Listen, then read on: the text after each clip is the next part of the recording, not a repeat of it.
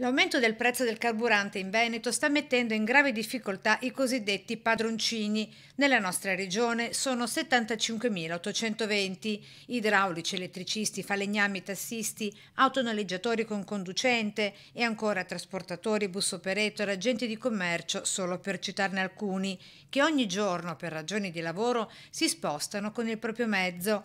L'allarme lanciato dalla CGA di Mestre che chiede con forza un intervento su due versanti il primo attraverso una riduzione delle imposte, il secondo rivolto specificatamente ai mezzi pesanti, chiedendo all'Unione Europea di modificare le disposizioni in vigore. Piccoli imprenditori artigiani che nel tempo saranno quasi sicuramente costretti a scaricare questi extra costi sul cliente finale, alimentando così l'inflazione, aggiunge il segretario regionale dei trasporti ma non solo i padroncini, tutta la filiera del trasporto riguardante merci e logistica e in particolare la gomma ma anche le navi.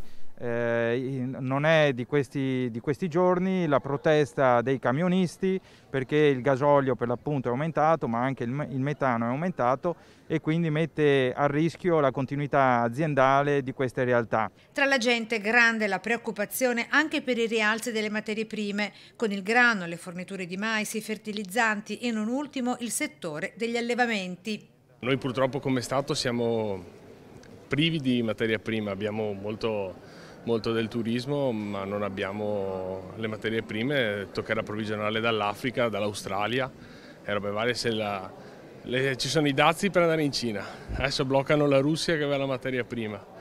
L'America non è che può portare il gas sulle navi perché sarebbe un'utopia, quindi bisognerà approvvigionare materiale da, da Australia, Africa. Quello che stiamo assistendo è tragico è una vera bomba atomica buttata diciamo, nel mondo. Eh. È una seconda Hiroshima. Eh. Speriamo bene per tutto. Ma vorrei sperare che sia un po' prematuro doverci preoccupare in questi termini di, di quello che potrà accadere. Poi bisogna essere anche pronti a tutto, però non vorrei alzare la soglia della preoccupazione ecco, in questa fase, ne abbiamo già tanti di, di pensieri.